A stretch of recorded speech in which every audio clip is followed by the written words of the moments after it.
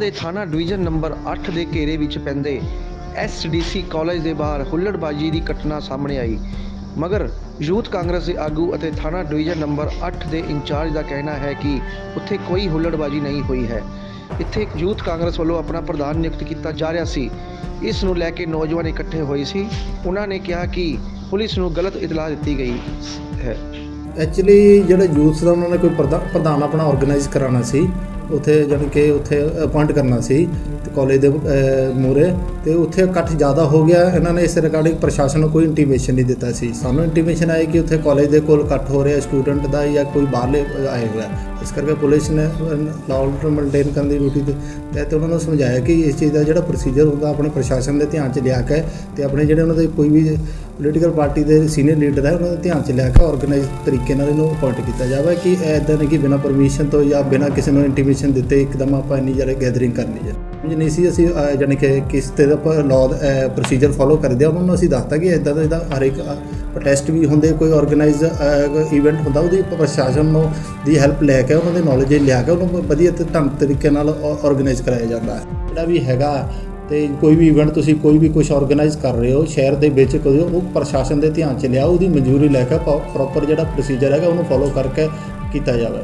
Sir ਧਾਰਾ 144 ਵੀ ਲੱਗੀ ਹੋਈ ਮੇਰੇ ਖਿਆਲ ਅਹ, ਧਾਰਾ ਦੇ ਮੱਦੇ ਨਜ਼ਰ ਨੇ ਫੈਸਟੀਵਲ ਸੀਜ਼ਨ ਨੂੰ ਦੇਖਦੇ ਹੋਏ ਤਾਂ ਹੀ ਪੁਲਿਸ ਮੁਸਤੈਦ ਸੀ ਇਮੀਡੀਏਟਲੀ ਸਾਨੂੰ ਪਤਾ ਲੱਗਿਆ ਅਸੀਂ ਇਮੀਡੀਏਟਲੀ ਉੱਥੇ ਪੁੱਜੇ ਤੇ ਉਹਨਾਂ ਨੂੰ ਸਮਝਾਤਾ ਕਿ ਸਟੂਡੈਂਟ ਸੀ ਤੇ ਇਸ ਕਰਕੇ ਅਸੀਂ ਉਹਨਾਂ ਨੂੰ ਸਮਝਾਤਾ ਕਿ ਇਹ ਚੀਜ਼ ਦਾ ਆਪਣਾ ਅੱਗੇ ਤੋਂ ਆਰਗੇਨਾਈਜ਼ ਕਰਕੇ ਜੋ ਵੀ ਹੈਗਾ ਆਪਣਾ ਇਨਫੋਰਮੇਸ਼ਨ ਲੈ ਕੇ। ਹਾਂਜੀ। ਨਹੀਂ। ਨਹੀਂ ਕੁਝ ਨਹੀਂ ਹੋਇਆ। ਉਹਨਾਂ ਨੂੰ ਪਿਆਰ ਪੀਸਫੁਲੀ ਸਮਝਾਤਾ ਸੀ। ਉਹ ਵੀ ਸਮਝ ਗਏ ਸੀ। ਉਹਨਾਂ ਦੇ ਜਿਹੜੇ ਯੂਥ ਦੇ ਪ੍ਰਧਾਨ ਸੀ ਉਹਨਾਂ ਨੂੰ ਵੀ ਸਮਝ ਆ ਗਈ ਕਿ ਅੱਗੇ ਤੋਂ ਅਸੀਂ ਇਸ ਤਰ੍ਹਾਂ ਪ੍ਰੋਸੀਜਰ ਫੋਲੋ ਕਰਕੇ ਜਿਹੜੇ ਵੀ ਕੋਈ ਇਵੈਂਟ ਆਰਗੇਨਾਈਜ਼ ਸਰ ਕਿਹੜੇ ਥਾਣੇ ਦਾ ਮਾਮਲਾ ਸੀ ਇਹ? ਇਹ 8 ਨੰਬਰ ਥਾਣੇ ਦਾ ਮਾਮਲਾ ਸੀ। ਠੀਕ ਹੈ। ਲਾਲੀ ਮੇਰਾ ਨਾਮ ਯੂਥ ਕਾਂਗਰਸ ਪ੍ਰਧਾਨ ਜ਼ਿਲ੍ਹੇ ਦਾ।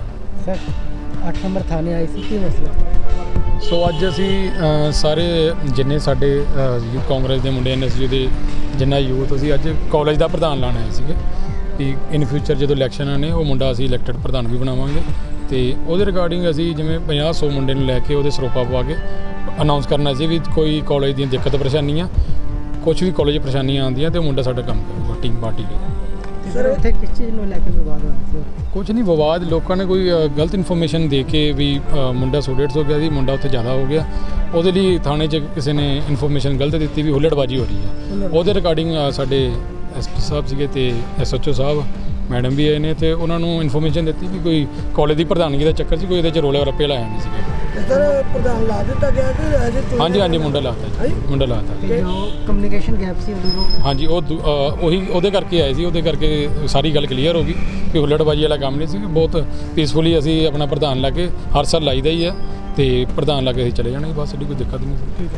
ਕਿੰਨਾ ਕੁ ਲਗਭਗ ਦਾ ਰਸ਼ ਨਜ਼ਰ ਆਇਆ ਤੇ ਲੋਕਾਂ 'ਚ ਕਿੰਨਾ ਕੁ ਜੋਸ਼ ਹੈ? ਸੋ ਅਸੀਂ ਤਾਂ ਜਿਵੇਂ ਕਾਲਜ ਦੇ ਯੂਥ ਨੂੰ ਤੇ ਸਟੂਡੈਂਟ ਨੂੰ ਗਿਆ ਸੀਗਾ ਤੇ ਉੱਥੇ 3-400 ਮੁੰਡਾ ਉੱਥੇ ਹੋ ਗਿਆ ਯੂਥ ਦਾ ਆਪਣੀ। ਸਹਿਮਤੀ ਨਾਲ ਪ੍ਰਧਾਨ ਲਾਇਆ ਗਿਆ ਜੀ। ਸਹਿਮਤੀ ਨਾਲ ਪ੍ਰਧਾਨ ਲਾਇਆ ਪਾਰਟੀ ਦਾ ਪ੍ਰਧਾਨ ਸੀਗਾ ਕੋਈ ਹੁੱਲੜਬਾਜੀ ਲਈ ਕੋਈ ਗੱਲਬਾਤ ਨਹੀਂ ਸੀ ਕੋਈ ਬਾਹਰੋਂ ਕੋਈ ਬੰਦੇ ਐਸੇ ਨਹੀਂ ਆਏ ਵੀ ਜਿਹੜੇ ਹੁੱਲੜਬਾਜੀ ਕਰਨ।